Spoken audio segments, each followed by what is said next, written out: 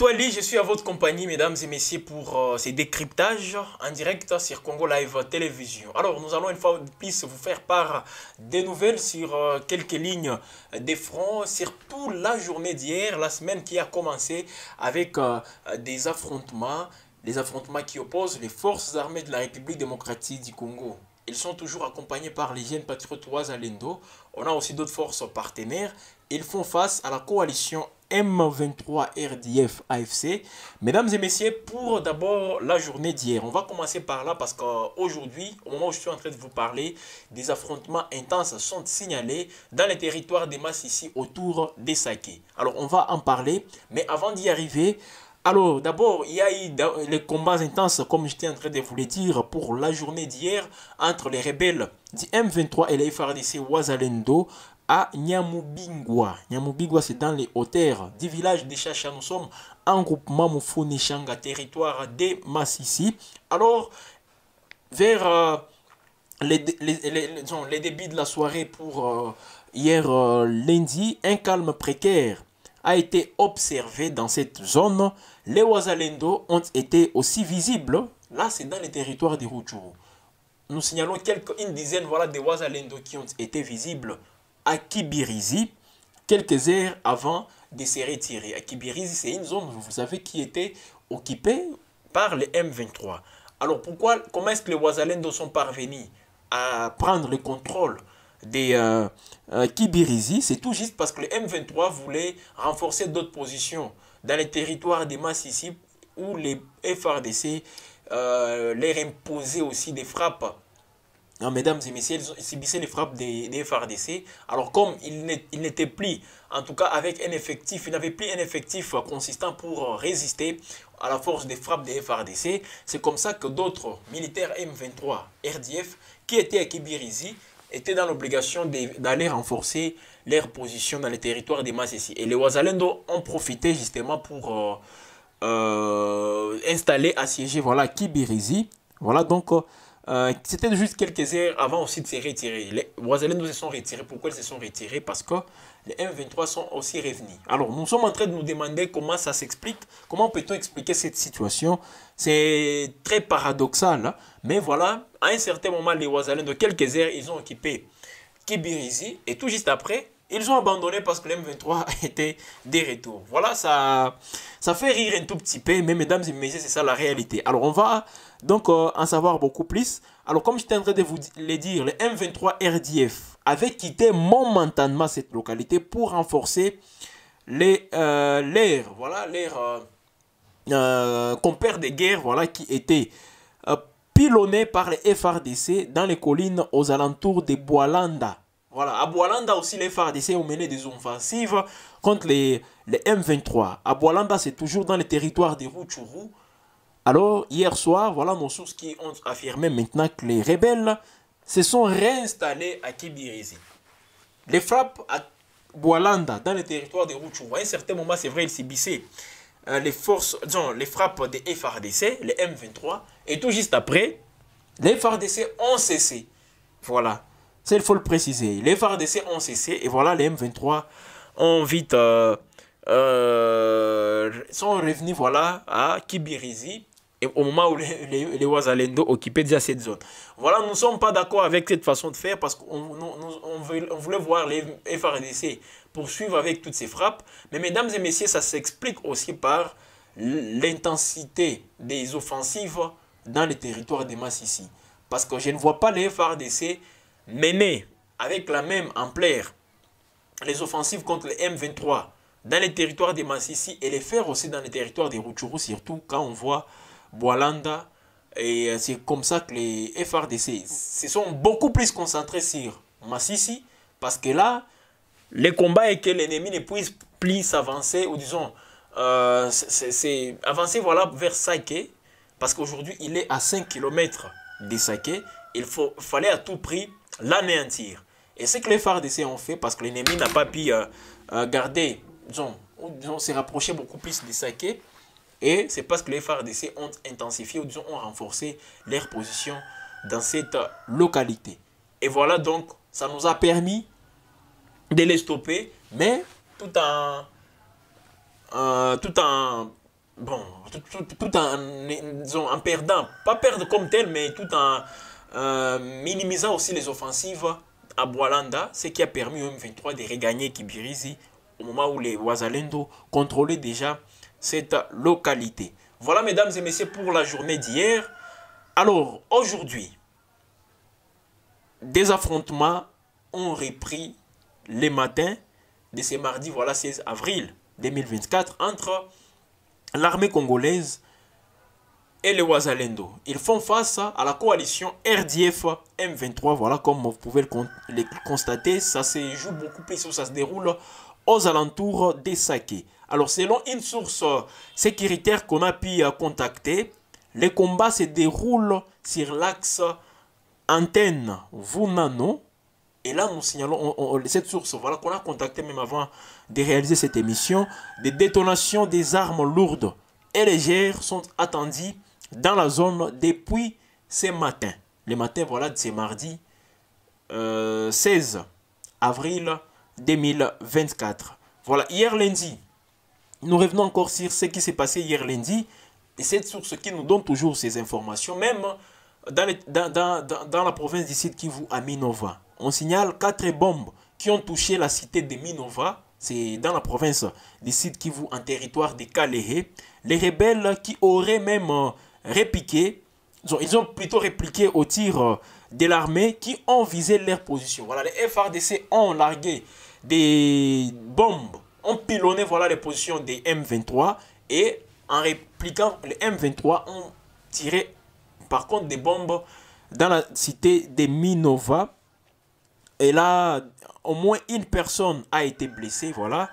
Des, euh, dans le territoire de Ruchuru aussi, il y avait des combats entre les Wazalendo, estimés à une dizaine. Voilà, les Wazalendo qui, euh, euh, comme j'étais en train de vous le dire, une dizaine de Wazalendo qui ont à un certain moment occupé la, la, la, la, cité voilà, de Kibirizi. C'est dans le territoire de Ruchuru. Alors, d'intenses combats qui se déroulent maintenant là entre les rebelles du M23, ils sont toujours soutenus par le Rwanda, il faut le préciser, et la coalition FRDC Wazalendo. Voilà, ces affrontements qui sont signalés depuis tôt. Euh, c'est mardi, nous sommes dans, c'est autour des collines qui surplombent la cité d'Essaké, à 30 km de la ville de Goma. Voilà l'ennemi aujourd'hui qui se retrouve à 5 km de la ville. Alors, ce qu'il faut aussi euh, garder comme acquis par rapport à tout ce qui se passe, c'est que les FRDC, aujourd'hui, ne sont pas là en train d'attendre que les M23 attaquent pour qu'elles réagissent. Ce n'est pas ce qui se déroule aujourd'hui. Les FRDC, à un certain moment, pilonnent les positions de l'ennemi. Et l'ennemi, en perte de vitesse, il a, encore il a largué des bombes à l'aveuglette dans les... Voilà, dans la, dans la cité de Minova, en, en, province du qui Kivu. Voilà, il a largué des bombes et voilà des blessés qui sont une fois de plus signalés. Mesdames et messieurs, ce sont toujours des actes de guerre qui ont toujours caractérisé les M23 et les RDF qui ne, qui, ne pensent même pas euh, qu'en larguant des bombes qui, dans cette zone, c'est une zone qui, là où il y a la population, il y a même d'autres déplacés qui se sont dirigés à Minova et voilà, des bombes ont été une fois de plus larguées là où il y a ces déplacés. Alors, dans tout ce que nous pouvons aussi retenir, c'est que les M23 sont en difficulté. Pourquoi j'ai dit qu'ils sont en difficulté Aujourd'hui, les M23 n'avancent pas. Ils voulaient profiter de, euh, de cet abandon de la Monisco la semaine dernière pour euh, se rapprocher des Saïké, mais ils ont fait une fois de plus face, ils ont fait face à la vigilance des FRDC et des jeunes patriotes Ouazalendo. Mesdames et messieurs, comme je le disais, nous devons donc nous contenter d'abord de cette position, ou disons de cette euh, attitude, de cet état d'esprit voilà, qui caractérise aujourd'hui les FRDC. Nous devons nous contenter d'abord de ça et voir comment est-ce que nous pouvons avancer. Voilà donc, sur ces signes, justement, il y a de quoi se réjouir aujourd'hui de cette façon de faire des FRDC, des Ouazalendo. Alors, ils ont résisté à un certain moment et aujourd'hui, ils sont en mesure d'attaquer l'ennemi, de les mettre en difficulté. Imaginez quand les M23 se sent aujourd'hui à court d'effectifs, et se retrouve dans l'obligation aujourd'hui de prendre ces effectifs qui occupent certaines localités dans les territoires de Rutshuru pour venir renforcer leur ligne de front parce qu'ils n'arrivaient plus à résister face au FRDC. C'est ce qu'ils ont fait à Boalanda, toujours dans les territoires de Rutshuru. Bon, heureusement, les FARDC, j'espère, ils vont intensifier tous ces combats. Ils vont intensifier tous ces tirs contre l'ennemi et les mettre tout de même en difficulté. Pourquoi pas les pousser à abandonner toutes ces lignes de front. C'est vrai, sur les plans diplomatiques, il y a euh, un statico. On ne sait pas quelle suite euh, doit-on réserver à tous les balais diplomatiques qui ont été aussi euh, menés par Kinshasa, menés par d'autres organisations au niveau international. Parce qu'il y a, c'est à quoi Kinshasa est en train bien sûr de marteler, c'est de voir les troupes RDF quitter les territoires congolais pour espérer à un quelconque dialogue avec les chefs d'État. Mais ce n'est pas encore fait. Les RDF, bien au contraire, sont en train toujours de résister face au FRDC. Et mesdames et messieurs, nous devons donc leur imposer la force. Nous devons justement aujourd'hui les pousser à quitter les, les, les, sols congolais par force. Et là, nous pouvons ou ne pas discuter avec eux. Parce que nous, serons, nous, nous allons déjà les anéantir. Donc aujourd'hui, c'est ce que les FRDC sont en train de bien faire. Et mesdames et messieurs, dans un mois, ça fait un mois que les FRDC n'ont pas perdu même un centimètre dans le territoire de Massissi. À Niragongo, c'est la même chose. C'est vrai, nous étions là en train de fustiger cette attitude que les FRDC ont affichée il y a de cela un mois dans le territoire de Rutshuru. Mais aujourd'hui, mesdames et messieurs, des manœuvres sont en train aujourd'hui d'être menées pour récupérer toutes ces entités. Voilà quand Boalanda est pilonné, les FRDC ont pilonné Boalanda et ça a poussé les F-23 de renforcer leur position à ce niveau-là. Et bien, les, les Wazalendo qui, à un certain moment, n'étaient pas aussi à mesure de mener toutes ces offensives dans Kibirizi, parce que Kibirizi, il y a des populations qui sont là-bas, les Wazalendo n'ont pas voulu aussi mener des, des, des, des s'affronter avec les, les, M23 à Kibirizi parce qu'il y aurait des victimes dans les rangs de la population et les Wazalendo se sont retirés directement. Voilà donc des précisions qui nous sont toujours parvenues par rapport à l'attitude des Wazalendo. Donc on peut tout simplement dire une chose aujourd'hui, c'est que les Wazalendo sont animés par cet esprit, ils respectent les droits humains. Parce que s'ils ne respectaient pas les droits humains, il allait céder au piège de l'ennemi et commencer à s'affronter avec lui dans pleine, en pleine Kibirizi. Et là, on allait encore une fois enregistrer des victimes côté population. C'est ce que les Wazalendo ont évité et ont jugé bon de se retirer de Kibirizi. Et mesdames et messieurs, nous saluons ces gestes. Parce que les, RDF et les Rwandais euh, particulièrement ont toujours accusé les Wazalendo, ont toujours accusé ces forces qui sont en train d'appuyer les FRDC des criminels. Je ne sais pas quel autre mot ils ont toujours euh, invoqué, mais là les Wazalendo viennent de donner une leçon de respect des droits de l'homme à ces agresseurs de la République démocratique du Congo parce qu'ils n'ont pas cédé à jet, ils se sont retirés de Kibirizi pour ne pas s'affronter avec les M23 RDF. Voilà donc des actes aujourd'hui qui contredisent un tout petit peu ce que le Rwanda a toujours présenté comme motif dans les grands salons diplomatiques pour dire que les Wazalendo, les FRDC ne respectent pas les droits de l'homme. C'est pas ça. Mais elles sont en train de tirer des bombes là où il y a les déplacés. Dans les camps déplacés, ils sont en train de tirer des bombes. Dans une cité comme Minova, où on n'a même pas signalé des affrontements avec les FARDC, mais ils sont en train de tirer des bombes pour tuer les paisibles citoyens. Mesdames et messieurs, c'est quelque chose que nous sommes en train de fustiger. Et là, ça nous pousse déjà d'atterrir ici en ville de Goma, parce qu'on a encore enregistré des tueries. Des tueries encore une fois à Goma. Et cette fois-ci, ce sont des policiers, des éléments de la police, de la police nationale congolaise qui faisaient des patrouilles dans les quartiers Katoi. C'est euh, en tout cas avant d'arriver à l'endroit communément appelé Terminis.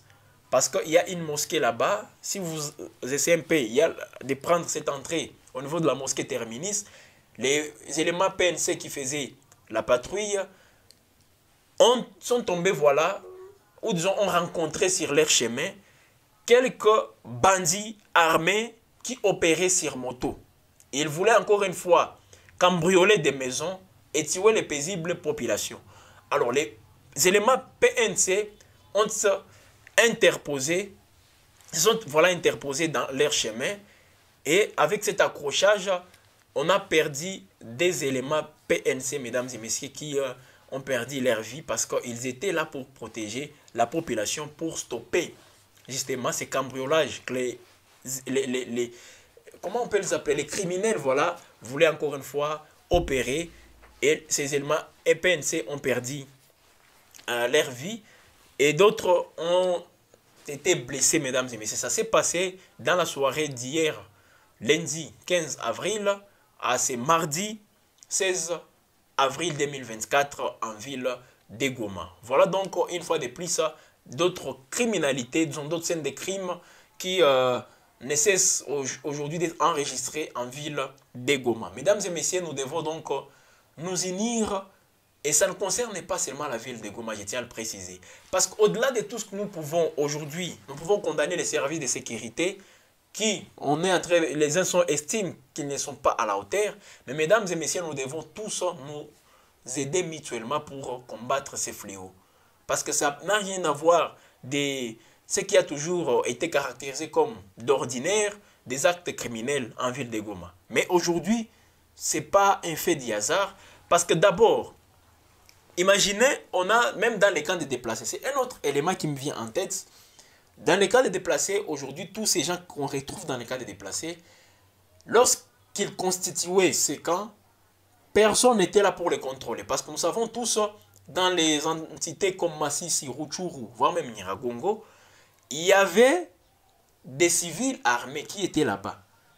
Et à un certain moment, les éléments RDF se sont aussi infiltrés dans les déplacés. Quand les gens quittaient, par exemple, certaines entités dans le territoire de Massissi pour se retrouver à Goma, les, RDF se sont aussi infiltrés dans ces mêmes euh, déplacés. Et aujourd'hui, en se retrouvant en ville de Goma, ils constituent déjà une équipe d'avance des ennemis. Voilà pourquoi ils sont en train de créer cette psychose pour que la ville de Goma soit invivable, pour que nous puissions dire aujourd'hui, la ville, en ville de Goma, on ne peut pas se promener comme on veut. Et là, ils vont instaurer une terreur dans la ville. Et les gens auront même peur de euh, faire, de mener, même, disons, d'évacuer librement à leurs occupations. C'est ce qu'ils sont en train de faire aujourd'hui. Ça, c'est un autre élément que nous pouvons ajouter. C'est vrai, il y a des brebis galaises dans les radios FRDC. Ça ne peut pas manquer. Mais mesdames et messieurs, au-delà de ça, les ennemis de la paix, aujourd'hui, les agresseurs veulent en profiter aussi pour euh, créer cette psychose et qu'on va mettre encore une fois à la tête de ces patriotes Ouazalendo. Moi, je l'ai toujours dit.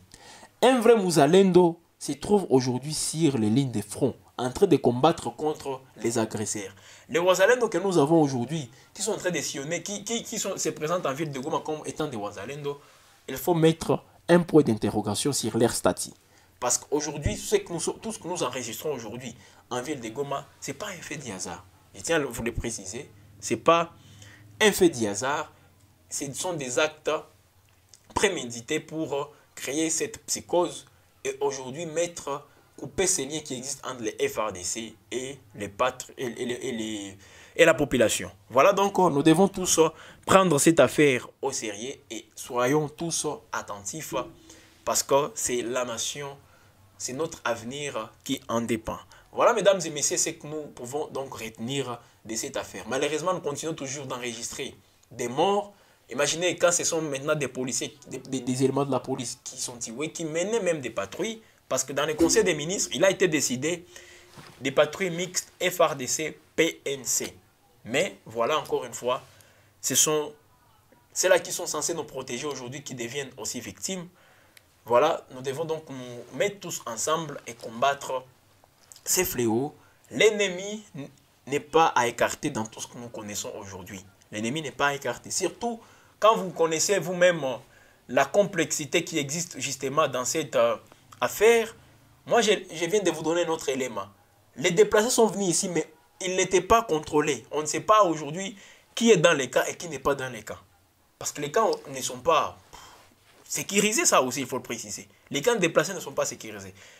Tout le monde entre dans les camps comme il veut et quitte dans les camps comme il veut. Peut-être qu'ils peuvent quitter ces bandits, ces RDF. Parce que, voilà, d'ailleurs, je me rappelle, il y a un élément RDF qui a été attrapé la semaine passée.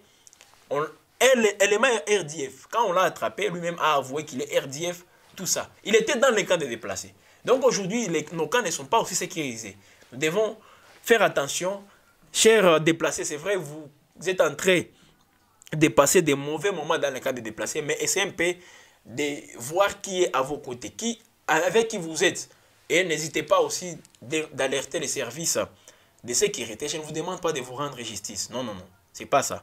Mais alerter les services de sécurité, comme ça a été le cas avec l'élément RDF qu'on a attrapé récemment. Mesdames et messieurs, nous sommes à la fin de cette émission. Les minutes, ou disons le temps n'est pas en notre faveur pour aujourd'hui.